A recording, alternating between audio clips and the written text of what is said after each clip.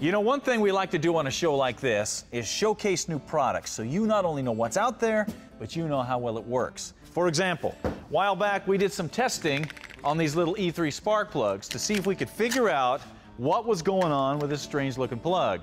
What we found was better fuel economy and better performance. But better fuel economy and performance in a stock engine is one thing. What all of us hot rodders want to know is what happens when you put a set of these into a performance or racing engine. Do they burn up? Do they work? Do they do anything? Well, the only way to find out is to go to a performance engine builder and put these little suckers to the test. So that is exactly what we did. Our journey took us to Roger Williams of Williams Precision Engines. Roger's a well-known engine builder in Indiana who not only races cars himself, but also builds high-performance street and racing engines for other racers. I got four racetracks within an hour from me, uh, where we're at. And it's uh, absolutely, this is the heartland uh, of America. Racing sprint cars are, are thick in, in Indiana. And inside the shop, you'll find his crew putting together everything from 1,000 horsepower alcohol motors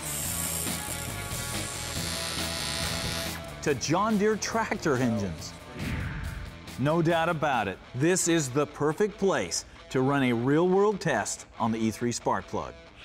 Yes, Roger's working with us on some testing with some race environments, which today we don't have a program, but something we're looking at. And what he's really trying to do is see if he can break the plug uh, so that we can find out the tolerances and where what we have to do to make it work in those more harsh environments.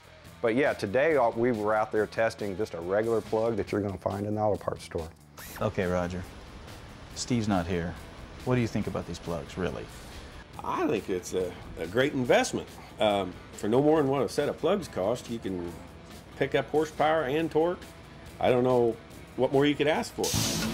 The first step was to make a series of runs using a conventional style plug. Then swap in some E3 plugs and make some more runs. Yeah, but right there, 448, 448, there's four tenths of a horsepower difference uh, at uh, 5,500 RPM on those last two poles.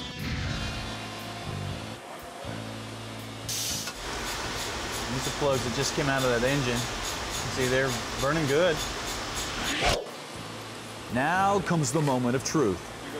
In a direct comparison to a conventional plug in a 400 horsepower street engine, how does the E3 plug stack up?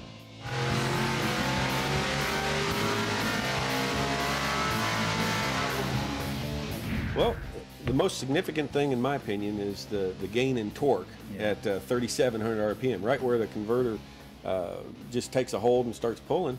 We, we jump from a 428 up to a 435. That's that that's significant. You know, that's Yeah, worth it. That's you know. awesome. Yeah, I think everyone's trying to get that every bit of efficiency they can. You know, Yeah. Whether it's a little better fuel efficiency, a little more horsepower. And if a fresher set of plugs can give you that, why wouldn't you?